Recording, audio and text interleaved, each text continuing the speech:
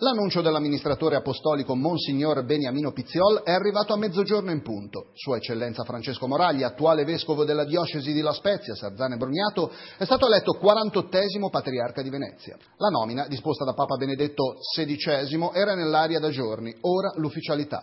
Francesco Moraglia, 58 anni, genovese, ha frequentato il seminario nel capoluogo Ligure, ricevendo l'ordinazione sacerdotale nel giugno del 1977.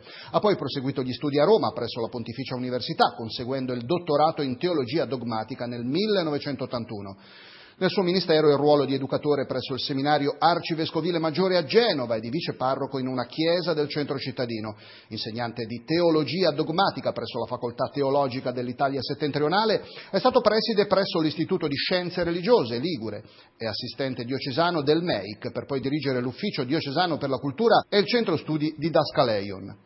Membro del Consiglio presbiterale del capitolo, nel dicembre del 2007 è stato eletto alla sede vescovile dell'estremo Levante Ligure, ricevendo l'ordinazione episcopale il 3 febbraio 2008. Ora per lui la massima carica religiosa nel Patriarcato di Venezia, ricoperta in passato da Angelo Roncalli, il Santo Padre Giovanni XXIII, pontefice dal 1958 al 63 e soprannominato il Papa Buono.